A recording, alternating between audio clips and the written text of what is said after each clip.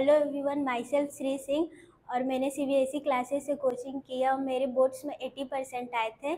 हमारे कोचिंग में N C R T के अलावा भी बहुत सारे बुक्स करवाए गए थे, जैसे मैथ्स में R S Agarwal, R D Sharma और ten years P Y Qs भी करवाए गए थे।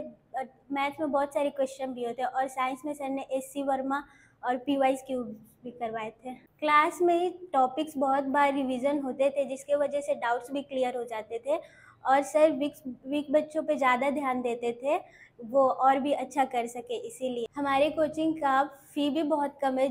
जो बच्चा फाइनेंशियली भी अफोर्ड नहीं कर सकता, वो भी आके यहाँ पे पढ़ सकते हैं। और एग्ज़ाम के जस्ट पहले हमारे कोचिंग में टेस्ट हुआ था, एकदम बोर्ड्स जैसा जैसा वहाँ होता है। और हमें पता चल गया था कि कैसे वहाँ पे एग्ज़ाम होगा। और सर ने सारा वैसे ही अरेंजमेंट किया था, जैसे बोर्ड्स एग्ज़ाम में होते हैं। जिससे हमें काफ़ी ज़्यादा फ़ायदा मिला बोर्ड्स एग्ज़ाम में। और हमारे कोचिंग टीचर्स जो थे, वो हमें एकदम बेसिक से लेकर एडवांस तक लेकर जाते थे। जो भी हमें नहीं समझ में आता था, हम उनसे बार बार पूछते थे, वो हमें बार बार बताते थे।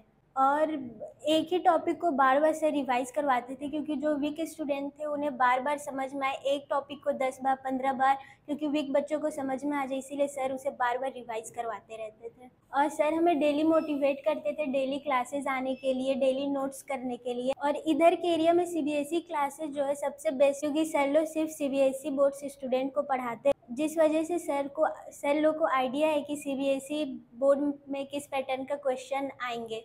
सर लोग जो कोचिंग में नोट्स बनवाते थे, वो काफ़ी डिटेल में नोट्स और सिंपल तरीके से नोट्स बनवाते थे। अगर हम लोग बुक्स को भी ना पढ़े और नोट्स को पढ़ ले, वो एग्ज़ाम के लिए सफिशियंट है। फाइनली मैं सारे सीबीएसई स्टूडेंट को यही बोलना चाहूँगी कि आप सीबीएसई क्लासेस में आकर डेमो क्लास ले और यहाँ पे क्लास ज्वाइन करें, क्योंकि अगर आप यहाँ पे ज्वाइन करते हैं तो आपका अच्छे मार्क्स आने का बहुत अच्छा चांस हो जाता है। एंड फाइनली मैं सीबीएसई क्लासेस को थैंक यू बोलना चाहूँगी, जिन्होंने हमारी बोर्ड्स एग्ज़ाम में बहुत ज़्यादा हेल्प की। And thank you so much